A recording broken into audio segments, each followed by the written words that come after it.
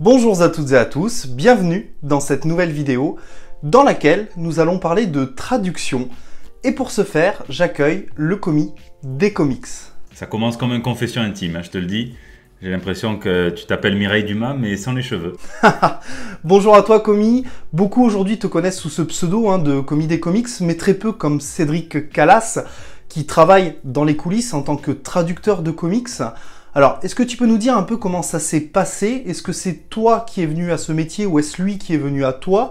Est-ce que tu es autodidacte? Est-ce que tu as un diplôme en particulier? Ouf, alors euh, bah déjà merci de me recevoir. Euh, et alors attends, pour répondre à toutes tes questions, euh, bah, alors autodidacte oui et non parce que j'ai toujours aimé les langues depuis l'école. Et euh, euh, j'ai toujours plus ou moins préféré l'anglais et commencé à traduire euh, soit des petites chansons, soit des trucs que je trouvais que dont je trouvais pas la traduction. Donc j'ai essayé de, traduire ça moi-même pour le faire écouter à des potes, pour dire putain regarde tel ou tel rappeur, c'est fou, il fait des, des, triples jeux de mots que j'arrivais probablement pas d'ailleurs à, à, bien rendre à la traduction. Donc j'ai toujours un petit peu traduit et après euh, oui, après, moi, ça, me, c'est un peu venu à moi parce que je pensais pas que j'étais capable de le faire euh, quand j'étais plus jeune. C'est un peu sacré la traduction, tu vois. Pour moi, c'est tu, tu fixes quelque chose. Euh, c'est quand même assez. Enfin, il faut respecter la parole de l'auteur. C'est un truc qui, me, qui, me, qui me transporte, tu vois. Et en fait, c'est que je suis, je suis rentré en tant que chargé d'édition chez Snorgle Comics à l'époque, il y a longtemps, j'y travaille plus actuellement. Et euh, ils cherchaient des traducteurs et j'étais là. Donc euh, c'est un petit peu comme ça que ça, que ça s'est fait. Donc c'est la, la, première fois que j'ai traduit de façon pro, c'était là-bas, euh, des comics. Alors faut, faut quand même préciser, hein, et je, tiens à le dire, que je suis pas un, un, traducteur vétéran, si tu veux. Je commence à peine, j'ai une dizaine d'ouvrages à mon actif. Je, ça fait 4 ans que, je fais ça, donc c'est pas énorme. Alors, euh, tu m'interviews moi parce que ben, j'ai un petit peu de lumière avec ma chaîne, euh, c'est plus facile, mais je voudrais quand même rendre hommage, si tu me le permets, à, euh, voilà, tous les autres traducteurs qui, travaillent, donc qui n'ont pas le temps de, faire des conneries sur YouTube. Et tu vois, là par exemple, j'en ai quatre. C'est pas, alors, Patrick Marcel, c'est pas forcément un pote, j'ai croisé une fois, mais je le respecte. Patrick Marcel qui traduit Sandman, qui est là. Euh, tu as Basile Bagri qui fait Les Simpsons, qui fait Bitter Roots. Euh, tu as Benjamin Viette qui fait, euh, qui fait du, euh, du roman Fortnite, des, des romans ados, la Fortnite, où il fait beaucoup de choses chez Marvel. Et puis tu as Monsieur Alex Nikolavitch qui lui a une chaîne YouTube, qui est auteur aussi et qui, traduit, qui a traduit The Boys pour ne citer que ça, et qui fait ses propres romans. Alors il y a aussi évidemment. Il y a aussi, parce que là c'est vrai que ça fait très masculin, hein, c'est un métier, on dirait où il n'y a, que des mecs, mais il y a aussi des femmes. Hein. je pense à Anne Capuron qui traduit Hellboy. Euh, je pense à Marie-Paul Noël qui est en train de traduire sûrement la, biographie de Trina Robbins. Enfin, il y a plein, de monde qui n'ont pas la chance peut-être d'être interviewés, mais qui, euh, mériteraient amplement de l'être. Donc je voulais commencer par leur, rendre hommage, si tu me, le permets. Mais oui, c'est une, voilà, une, passion, mais j'ai la chance maintenant que, euh, de pouvoir. Alors j'en vis pas, hein, parce que c'est, j'ai pas énormément de, de trad euh, pas assez pour en vivre, mais en revanche, euh, c'est une passion et euh, je suis payé pour traduire et je ne me régale jamais autant que quand je traduis.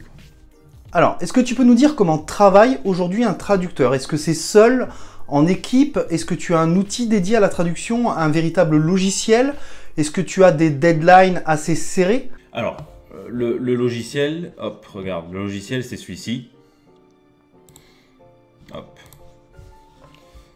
euh, Google Trad. Ça, c'est la, base de, tout, euh, de tout traducteur, c'est Google Trad. On traduit, tu vois, hello, I translate, bonjour, je traduis. Euh, c'est ça. Non, non, non, plus, plus, plus sérieusement, oui, il y a des. Hum, alors, seul, oui, c'est une tâche assez solitaire.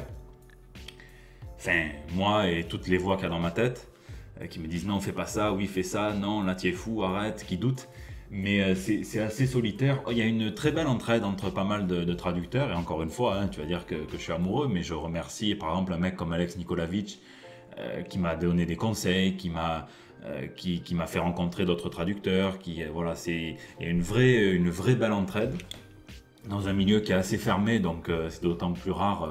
il faut souligner le voilà quand il y a quand il y a quand il y a une forme de solidarité, c'est très bien. mais après le travail, non, j'ai jamais traduit à quatre mains. En revanche, ce qui se passe, c'est que donc pour, pour, pour, répondre à ta question, tu, tu traduis, toi tu traduis, tu envoies, tu envoies ça et c'est relu par un éditeur. Euh, et par exemple, ben, j'embrasse Julie de chez iComics, euh, où je me suis régalé à traduire, à, traduire euh, Coyote, le volume 2, chez eux. Et donc elle, elle relisait, elle me faisait des remarques sur ma traduction. Des fois, elle avait des fulgurances que j'étais jaloux de ne pas avoir trouvé moi.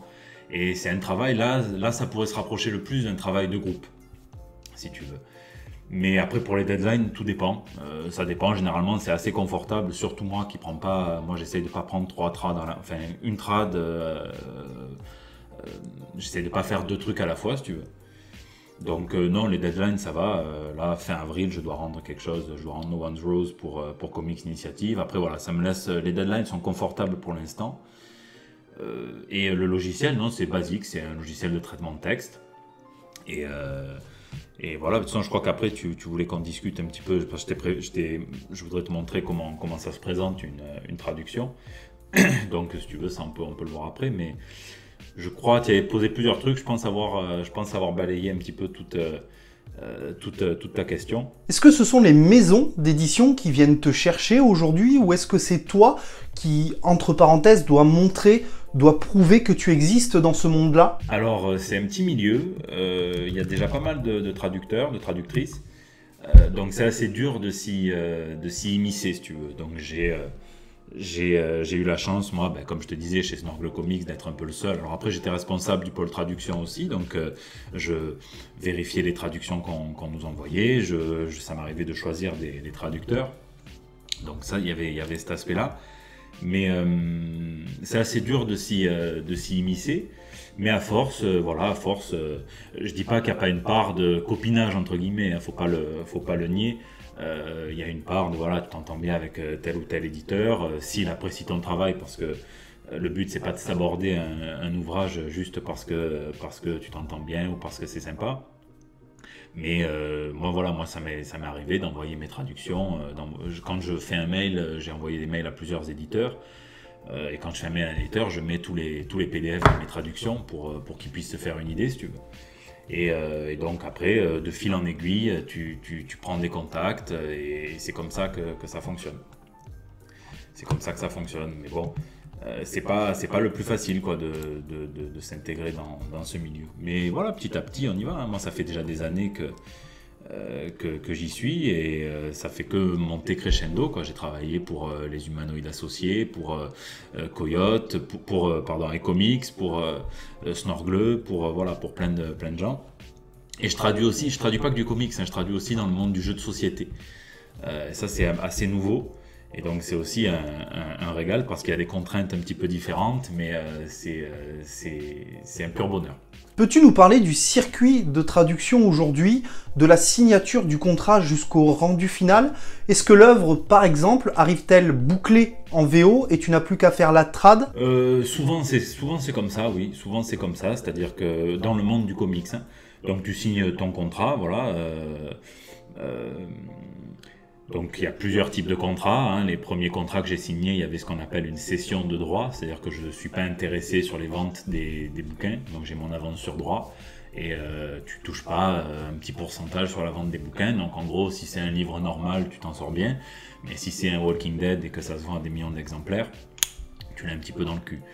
Euh, donc euh, bon, ça c'est ça c'est un détail. Mais maintenant, en ce moment, vraiment, toutes les propositions que je reçois sont très réglo. Euh, non, tu, signes ton contrat, on t'envoie le matériel, donc la BD, bah regarde, on va, je vais te montrer euh, ce que j'ai fait pour les, humanoïdes associés, puisque c'est peut-être pas ma pire expérience de trad, mais celle qui était peut-être la plus rigolote, la plus ironique. Euh, fais voir, tac. Tu reçois, voilà, tu vois, tu reçois ton, tu reçois le comics en VO. Et donc après, moi, sur un, logiciel de traitement de texte, je traduis et je leur envoie euh, sous cette, euh, sous cette forme-là. Euh, tu vois, sous cette forme-là.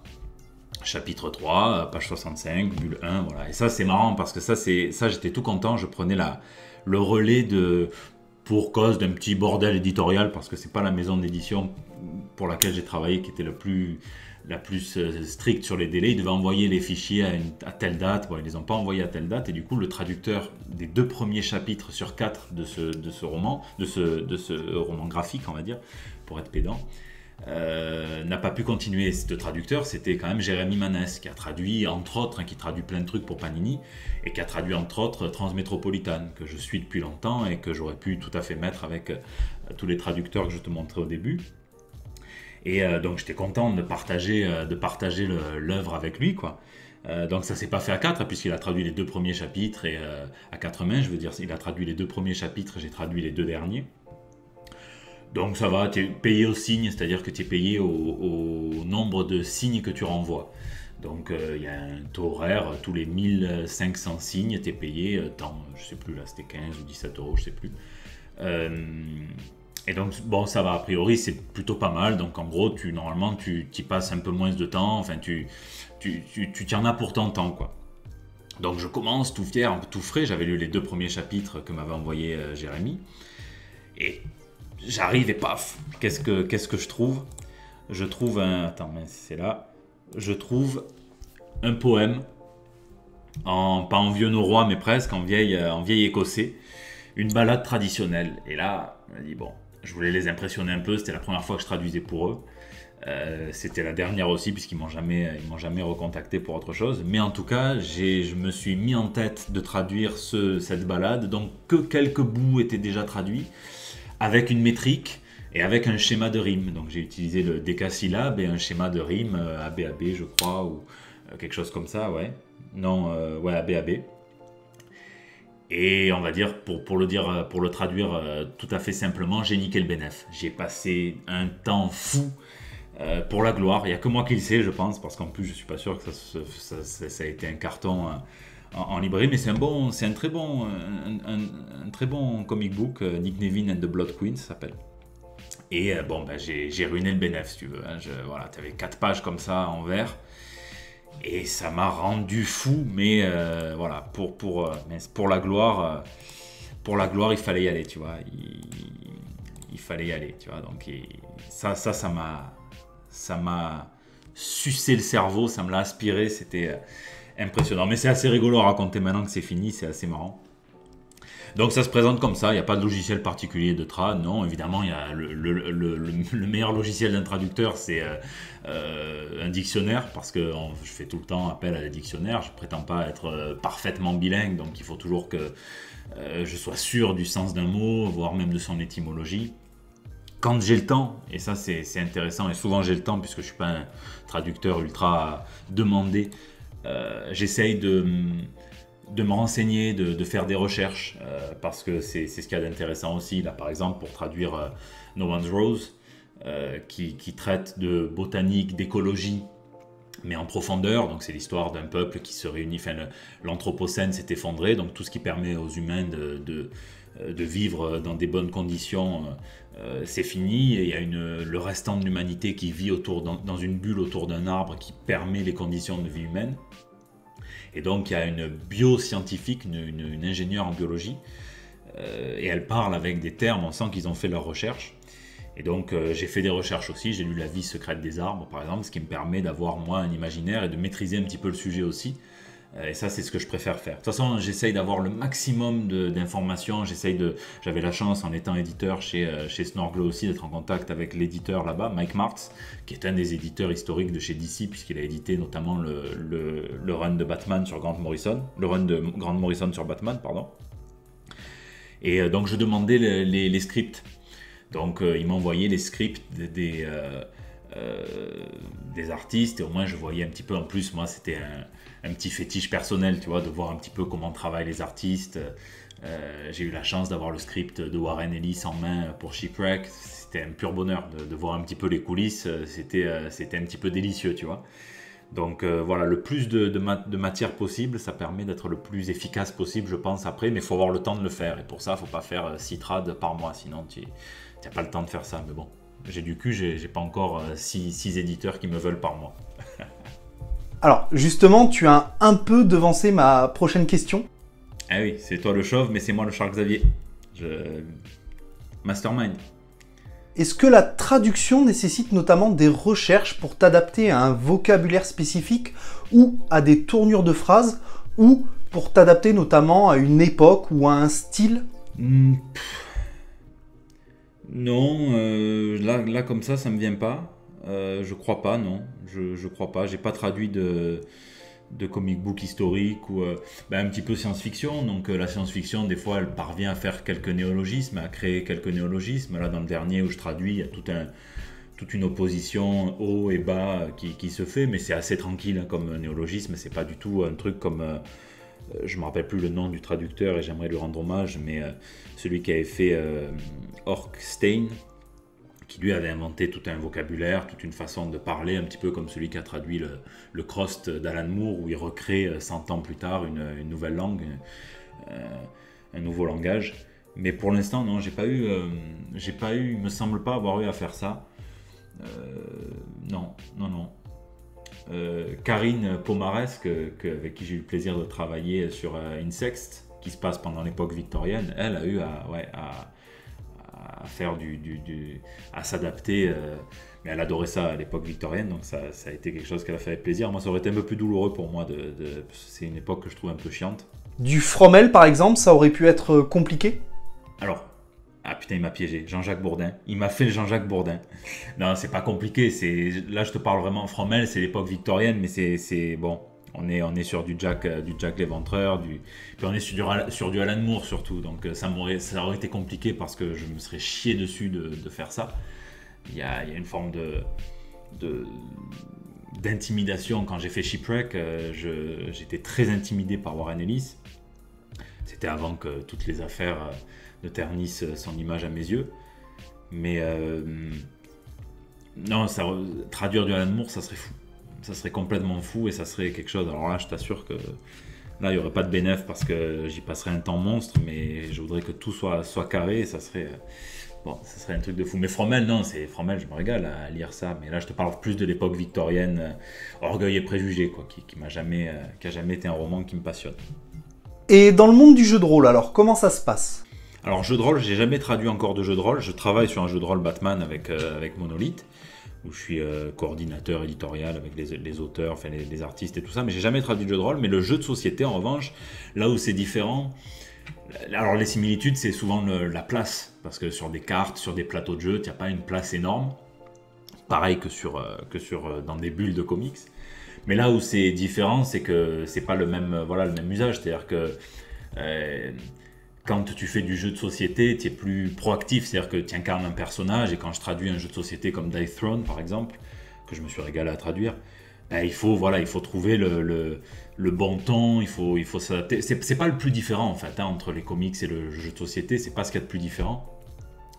Là où c'est différent, c'est quand tu traduis des règles, des règles du jeu. Ça, par contre, oui, c'est très différent. C'est-à-dire qu'il y a moins un aspect littéraire à la règle du jeu, euh, qui doit être... Euh, il y a un aspect plus... Euh, rigoureux et euh, il y a moins une recherche de style euh, d'épuration où on évite les répétitions, où tu vois, on essaye de faire un petit peu. Non, là vraiment, il faut traduire pour que les gens comprennent et il ne faut pas hésiter à, euh, à, se répéter, à être pas lourd, hein, parce que c'est pas, pas lourd, mais c'est un langage de règles. Voilà, comme quand tu traduis un mode d'emploi, j'imagine, un médicament ou quoi, tu peux pas t'amuser à faire, à faire de, des métaphores ou. Euh, tu vois, ou des euphémismes, parce que tu n'as pas envie que pas envie que de dire les dosages en euphémisme. Prenez-en euh, un temps soit peu. Non, euh, c'est deux par jour, deux comprimés par jour et basta. Donc il a pas de. Là c'est différent. Mais après, sinon c'est marrant. Hein. Dans l'iPhone, c'était huit personnages, ils avaient tous leur style. Il fallait trouver un style, il fallait trouver. Il fallait trouver des choses. Ils parlaient moins, il y a juste une petite phrase, donc a moins un travail de recherche de voix. Moi, ce que j'aime beaucoup, c'est chercher des voix pour les personnages. c'est un truc où je me régale. Ça. Et je me suis jamais autant régalé que dans les voix d'enfants. Euh, j'ai eu la chance de faire beaucoup d'enfants, notamment pour Aftershock, hein, sur euh, Baby Thief, euh, sur Black Eyed Kids, sur Animosity aussi. et donc c'est marrant d'essayer de trouver des voix et de jouer avec le peu de choses avec lesquelles on peut jouer en tant que traducteur. C'est-à-dire peut-être un petit peu d'argot, euh, le passage du tutoiement au vouvoiement, euh, ça c'est quelque chose qui est du vouvoiement au tutoiement plutôt, c'est quelque chose qui, est, euh, qui, me, qui, me, qui me botte bien, ça, ça permet de, faire des ruptures dans le récit. Il y a quoi d'autre avec lesquels on peut jouer? L'oralité. Je sais que ça c'est un petit peu dur chez certains éditeurs qui sont un peu classiques, mais je trouve que des fois, les dialogues ne respirent pas l'oral. Tu vois, à l'oral, ça nous arrive de ne pas dire les nœuds de, négation. voilà, des fois on parle autrement. Euh, d'abréger, de faire, euh, de faire certaines, certaines, certaines ellipses. Donc ça, j'aime bien essayer de le rendre, mais il faut que l'éditeur soit, soit partant. Des fois, c'est un peu compliqué, parce qu'il veut que ça soit grammaticalement correct, mais on ne parle pas euh, grammaticalement correct tout le temps. Donc ça c'est intéressant et ça c'est vrai qu'on peut moins le faire sur des jeux de société où c'est plus descriptif. Voilà, c'est pas, pas la même chose. Alors, tu l'as dit toi-même, hein, tu as traduit peu d'œuvres, mais sais-tu s'il existe une différence entre le process de traduction en France et ailleurs? Ah, Là, je vais te décevoir, mais pas du tout. Euh, pas du tout. Il m'est arrivé, et c'est pas là où je suis le plus à l'aise de devoir traduire pour des jeux de société euh, du français vers l'anglais. Euh, mais j'apprécie, enfin, c'est pas le mieux placé pour traduire. Autant je pense que tout le monde peut traduire quelque chose de, euh, de la langue qu'il a apprise ou qui, parfois peut être une langue maternelle pour les personnes qui sont euh, binationaux, vers sa, langue maternelle. Euh, autant je pense que le mieux placé pour traduire quelque chose, c'est quelqu'un qui parle la langue maternelle, qui parle la langue dans laquelle il doit traduire, tu vois. Et donc ça, c'est, enfin, j'ai un petit peu digressé là, mais sinon non, je connais pas les, processus, mais j'imagine que c'est c'est une tâche qui est similaire partout. Hein. Le traducteur, il doit pénétrer dans cette espèce d'espace là, un peu, un peu, un peu louche de, l'entre-deux, quoi. Et trouver un équilibre entre, voilà, sonder l'écart. Traduire pour moi, c'est sonder l'écart, tu vois, entre deux langues, entre deux cultures surtout, parce que souvent une langue, c'est le reflet d'une culture. Euh, donc j'imagine que le processus est partout pareil. Hein. Pourrais-tu nous parler un peu des avantages et des inconvénients du métier de traducteur? Euh, je vois pas trop d'inconvénients, mis à part que bah, des fois, voilà, tu tombes sur des poèmes en, vieux, euh, en vieil écossais euh, et que tu, perds du temps entre guillemets. Mais je veux dire, mon père était mécano. je pense qu'il aurait plus de plus d'inconvénients à son métier que moi, tu vois, qui suis assis tranquille là sur sur ma chaise en train de traduire avec de la musique en fond. Non, je suis bien, je suis plutôt bien. Euh, je vois pas trop d'inconvénients. Les avantages, bah, c'est un pur bonheur. C'est-à-dire que les avantages, tu te, chaque euh, nouveau euh, comics que tu as à traduire, chaque nouveau comic book, moi j'aime bien dire comics. Hein, je sais que c'est pas, c'est une faute, mais comics c'est devenu un mot tellement iconique que j'aime bien dire un comics. chaque, chaque nouvelle œuvre que tu traduis, elle te transporte dans un monde différent, elle te fait faire des recherches. J'aurais jamais cru, par exemple, que les arbres pour moi, un arbre, c'était un arbre, tu vois. Réfléchi pas, je ne réfléchissais pas plus que ça aux arbres. Et là, que je dois traduire ce The One's Rose, j'ai découvert qu'en fait, euh, les arbres, il y a tout un, c'est un super organisme, les forêts. C'est-à-dire que c'est des organismes très solidaires entre eux, les arbres, qui euh, euh, prennent donc par la photosynthèse, le, les, qui créent les substances nutritives nécessaires par le biais de la photosynthèse et de l'eau, mais qui redistribuent beaucoup par les racines. Ils sont tous reliés par les racines des arbres. Ils peuvent se prévenir d'un danger pour augmenter par exemple la toxicité de leurs feuilles quand par exemple les acacias et les girafes euh, quand euh, un acacia commence à se faire bouffer par une girafe, déjà il envoie des, signaux électriques pour prévenir euh, aux alentours les arbres pour qu'ils augmentent la toxicité de leurs feuilles et que la girafe elle se dise merde, je mange un truc pas frais. Et en plus, il libère des, espèces de, spores à 100 mètres aux alentours pour que les arbres commencent à faire pareil et que ça se protège, tu vois. Et ça, j'étais loin de savoir. Donc, ça permet de voilà d'apprendre plein de trucs. Euh, de se régaler à trouver des voix aux personnages, comme je te le disais, et puis de, euh, de se donner des défis, parce que c'est un défi aussi, hein, d'essayer de, bien, de bien rendre les choses. Voilà, c'est un défi, c'est un, vrai défi. Donc ouais, non, je vois, je vois beaucoup, beaucoup d'avantages. Et très peu d'inconvénients, voire pas du tout. Ton premier contact avec un super-héros en tant que traducteur, c'était quand et avec quel super-héros? Alors, j'ai jamais traduit de super-héros, alors je vais te faire une confidence. Euh, je, je, alors, euh, chaque chose en son temps. Je, ma première expérience chez Snorgle, c'était censé être pour Shipwreck. Donc, du traduire. Mon premier truc que je devrais traduire, que je devais traduire, je le dis euh, trivialement, c'était du Warren Ellis. Donc, très, très, très intimidé. Et j'ai eu la chance que Warren Ellis étant Warren Ellis, il a pris du retard. Donc l'épisode 4, 5, 6 a mis des mois et des mois à sortir, à tel point qu'on l'a décalé sur le planning éditorial et qu'on ne l'a pas sorti au moment où on devait le sortir. Donc, ce qui s'est passé, c'est qu'entre-temps, j'ai pu traduire Black Eyed Kids. Alors, non pas que je Enfin, bon, je vais le dire, euh, j'aime beaucoup Joe Pruitt, hein, qui est euh, le, scénariste, mais c'est vrai qu'il m'intimide moins que Warren Ellis, qui, m'a, qui a bercé euh, mon adolescence avec des œuvres comme Transmétropolitane, pour ne citer qu'elle. donc j'étais très intimidé de traduire ça, et ça se ressentait sur mes, essais de trad quand je les relis maintenant. Je trouve que j'étais très. je voulais tellement être rigoureux que c'était des trades un peu rigides, si tu veux, et qui n'étaient pas, pas très satisfaisantes. Euh, enfin, ça a évolué depuis.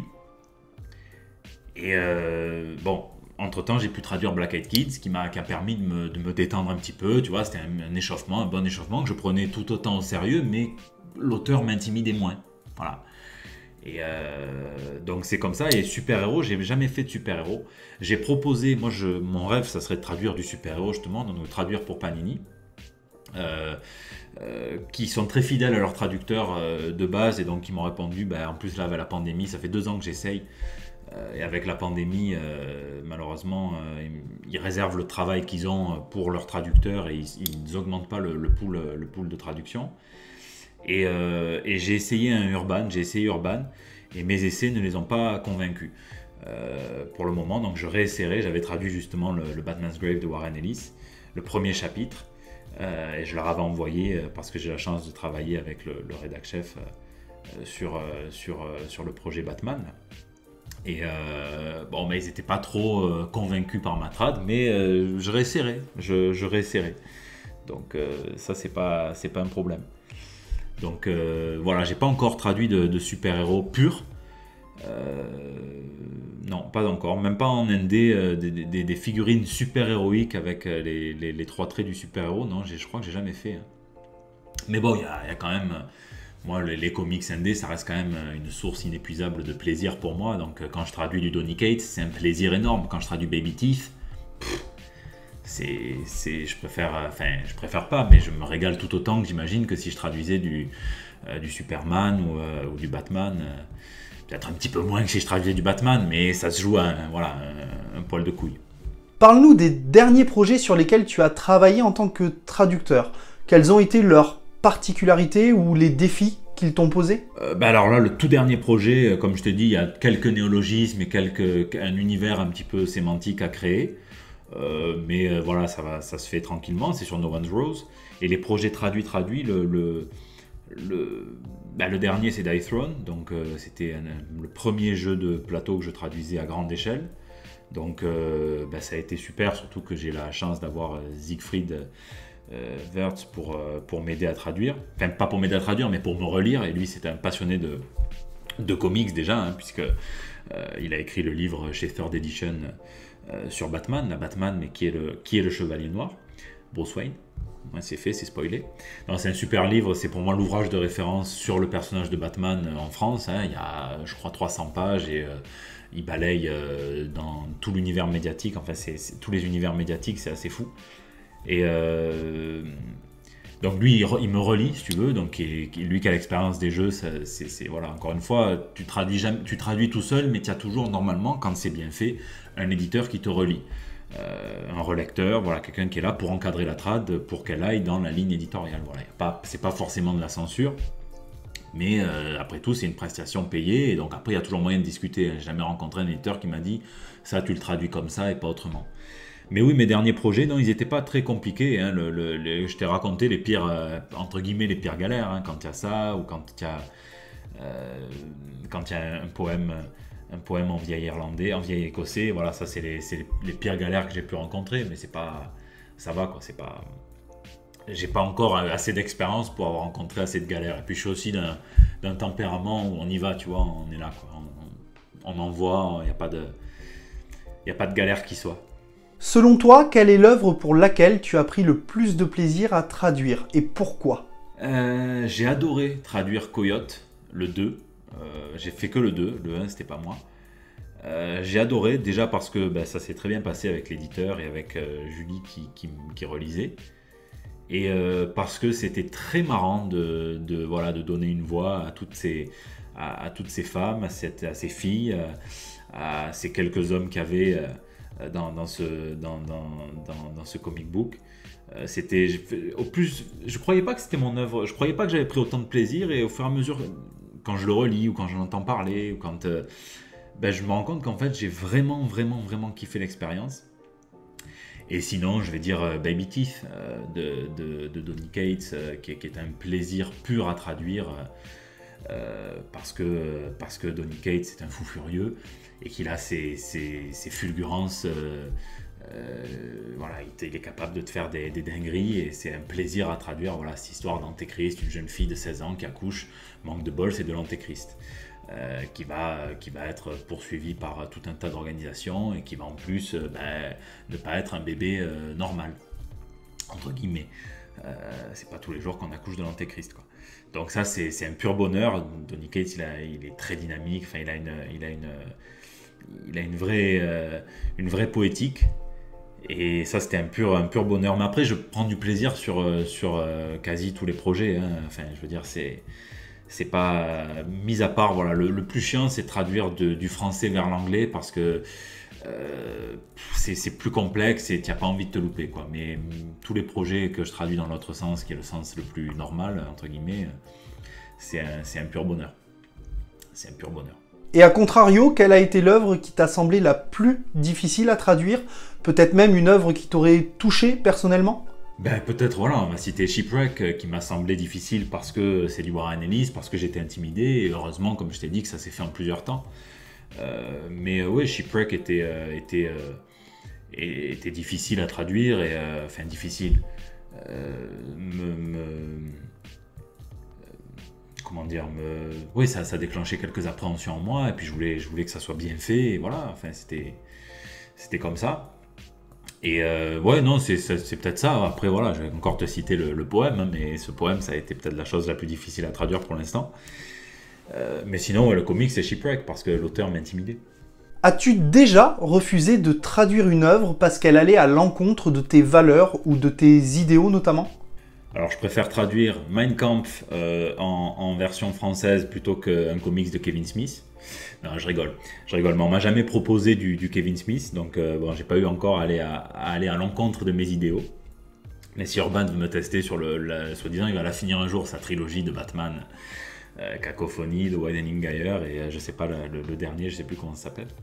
Non, non, non, j'ai pas eu, euh, j'ai pas eu de, à aller à l'encontre de mes principes. Euh, non, non, non, il n'y a pas eu de, de, euh, cas moral comme ça qui se, qui s'est, posé. Comme je t'ai dit, je commence à peine, donc j'ai pas, voilà, j'ai pas, j'ai pas eu l'occasion de, voilà, d'avoir. Non, j'ai réfléchi là, mais non, non, non. On voit aujourd'hui beaucoup de traducteurs autoproclamés, notamment par la fantrad et la scantrad. On pourrait penser que beaucoup peuvent devenir traducteurs. Est-ce que tu penses que c'est le cas? Ah, complètement. Euh, alors, je lis, je lis pas de comics en, en, fantrad. Hein. Euh, je suis allé voir après, après coup. Euh, sur un forum de, de, de, fantrad. Donc, s'il faut expliquer, la fantrad, c'est un processus illégal qui consiste à faire paraître les, comics de, manière, de manière scannée, donc avec une traduction amateur, mais euh, un amateur, c'est juste un professionnel qui n'est pas payé. Hein. Donc, euh, je suis allé voir après coup euh, certaines traductions, notamment de. J'avais vu quoi? J'avais vu du, du, Animosity, je crois. Mais après coup, parce que je veux surtout pas risquer de me faire influencer. Enfin, c'est trop, c'est trop. Tu vois, tu. Parfois, tu dis que tu n'es pas inspiré, mais regarde, c'est arrivé même au pauvre Gad Elmaleh qui, allait dans plein de comédie clubs euh, québécois et bon ben il se retrouvait à, faire des bouts de spectacle d'autres personnes parce qu'il se rappelait plus qu'il avait écouté là-bas.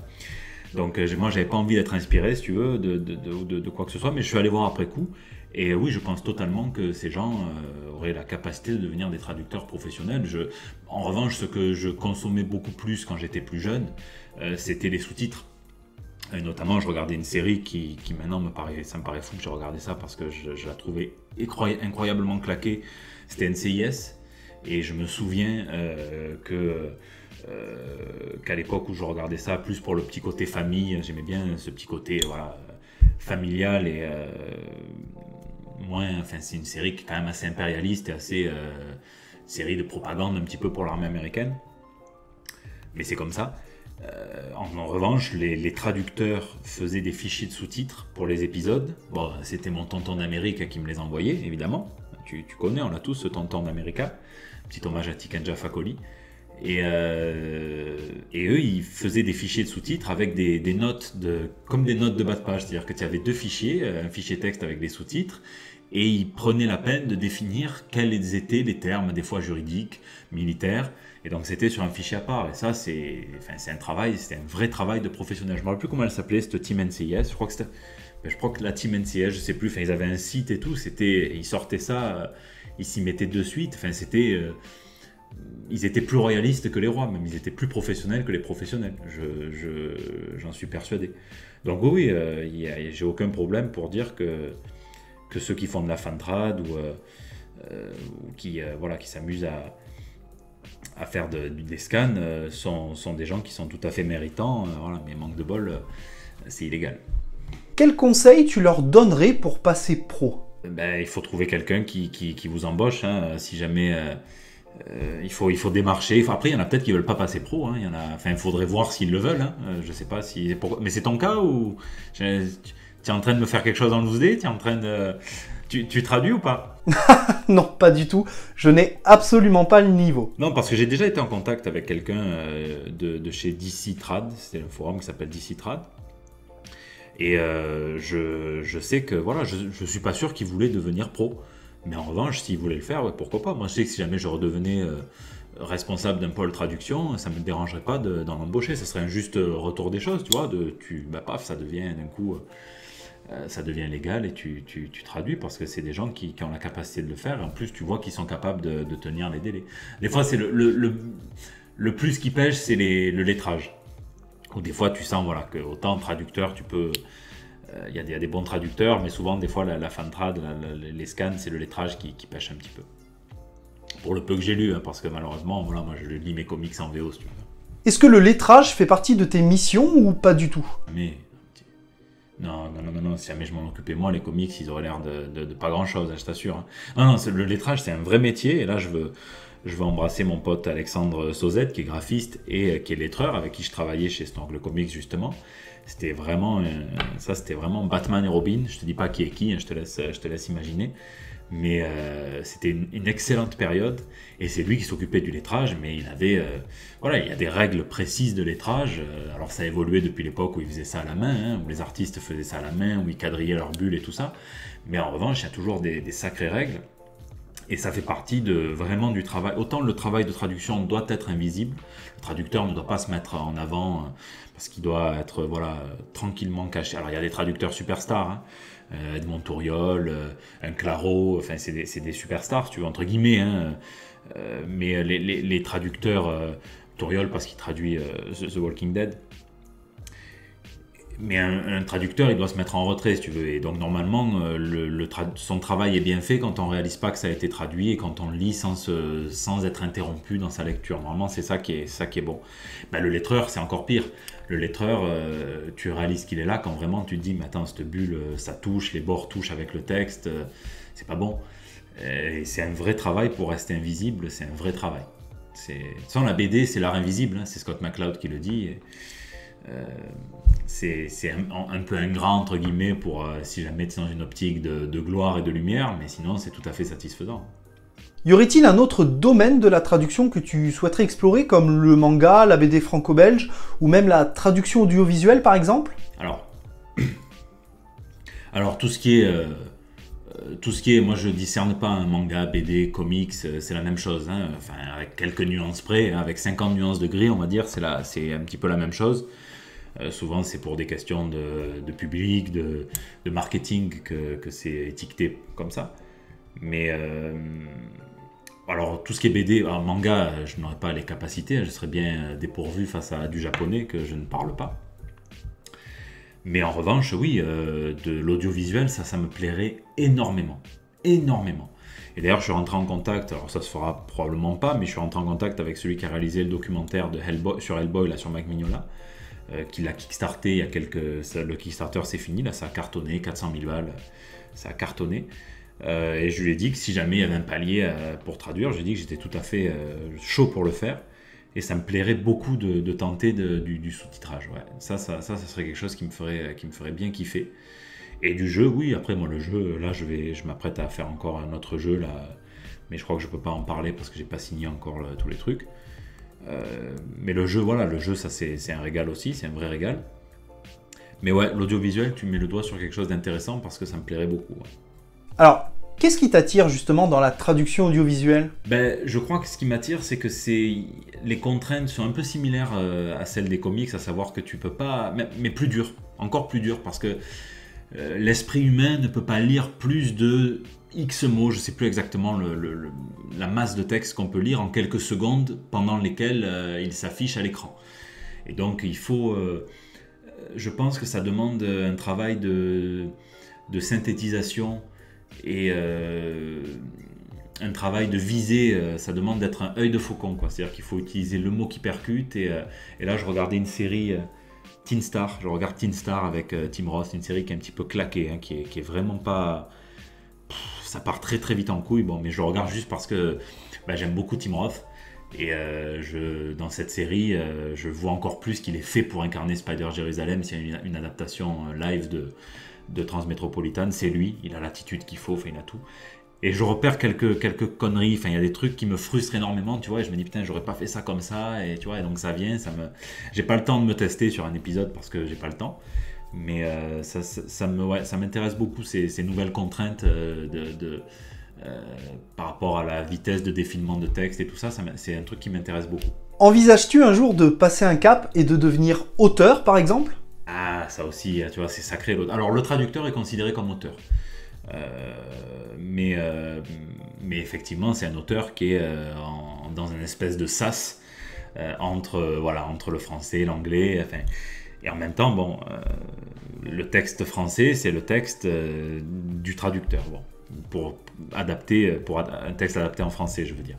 Mais oui, ça me plairait beaucoup de, franchir le cap. Hein. pourquoi pas un jour, mais il faudra vraiment que ça soit sérieux. Faudra, parce qu'on pourrait se dire, bon, j'ai une chaîne YouTube, euh, euh, il y a des gens qui s'intéressent à mon travail, donc euh, il y, en a qui, ça leur, il leur en faut pas plus pour créer des, un e-shop avec plein de, plein marchandises à la con, des trucs comme ça. Moi, c'est vrai que ça, je me suis toujours méfié de ça. Et je veux pas le faire comme ça, donc je veux pas juste créer pour créer parce qu'il faut sortir un truc et que ça marcherait probablement, enfin j'en sais rien, tu vois. Mais si un jour j'ai quelque chose à dire, et que je le fais bien, oui, euh, oui, clairement, euh, clairement, j'aimerais, j'aimerais beaucoup, euh, beaucoup devenir auteur, enfin, écrire quelque chose, travailler avec un dessinateur, enfin, ça serait, bah, c'est un kiff que j'ai depuis tout petit, donc voilà, c'est, et quand je vois le kiff que je peux prendre à faire, les, par exemple, les, quand on faisait avec Alric, ça fait longtemps qu'on l'a plus fait, mais on faisait pour le El Bando del Pueblo du JT Comics des petits strips en trois cases qu'on appelait les one-shots, c'est lui qui me donnait les duels et euh, souvent c'était les duels. Bon, des fois, le format duel me fatiguait un peu parce que parfois il y a des héros que, enfin, j'en ai marre que les héros, ne... j'ai pas cette mentalité Mortal Kombat quoi. Pour moi, deux héros, ils ont autre chose à faire que se taper dessus des fois. Et donc euh, j'arrivais à le rendre comme ça, mais donc il me donnait deux héros et on faisait, c'était génial, tu vois, de collaborer, de voir. Enfin, c'est un bon, c'est un bon processus créatif qui me plaît. Donc pourquoi pas un jour, avec plaisir. Selon toi, quelle serait l'œuvre ultime à traduire? Euh, les, journaux intimes de Tante May. Euh, pourquoi? Parce que euh, pour des raisons tout à fait voilà, basses d'attirance sexuelle pour cette, pour cette chère femme. Non, je sais pas, l'œuvre ultime, quasiment tout le catalogue d'Alan Moore a été traduit, quasiment. Mais euh, non, là, là, comme ça, je ne saurais pas te dire. Hein. Je ne saurais absolument pas te dire. Moi, il y a des œuvres que j'aimerais traduire. J'aimerais beaucoup traduire euh, du Ramvi, euh, qui a fait Eddie Savage Shores en, France chez iComics. Et on va bientôt avoir une surprise, puisque, on va bientôt avoir une surprise avec Ramvi, mais il y aura bientôt plus de titres de lui en France. Donc j'aimerais beaucoup traduire du Ramvi. Euh, voilà, j'aimerais, euh, traduire. Euh, non, je j'ai pas comme ça là de comment. Attends, tac, fais voir, ça s'appelle comment déjà C'est. Ah non, c'est pas ça, c'est. il s'appelle. J'ai perdu le nom de l'auteur de. fais voir. Excuse-moi, je cherche pendant que je te parle. tac. Sean Lewis, voilà, Sean Lewis et Kathleen Yarski. Euh, j'aimerais beaucoup traduire Bliss euh, de, chez eux, euh, de, de, Sean Lewis qui a fait Coyote, Coyotes. J'aimerais beaucoup traduire ça. Après, je, voilà, les, les comic strips de Donny Cates qui faisait un truc qui s'appelait Space Stepdad. c'était génial ça. Ça, j'aimerais beaucoup le traduire. C'était vraiment intéressant. Mais il y a plein de trucs que j'aimerais traduire. Tout ce qui me plaît, j'aimerais le traduire forcément. Euh, mais après, euh, l'œuvre ultime à traduire, non, je pense qu'il y a beaucoup, on a la chance d'avoir pas mal de beaucoup d'œuvres euh, au catalogue. Ben, tout le corpus, par exemple, de, de, Legend of the Dark Knight, Legend of the Dark Knight de, Batman, qui est une excellente série que Urban traduit petit bout par petit bout. notamment dans leur, dans leur Batman Arkham, là pour double face, ils, ont traduit, ils en ont traduit un petit peu. Voilà, donc ça, ça, ça serait une série qui pour moi mériterait ses intégrales urbaines.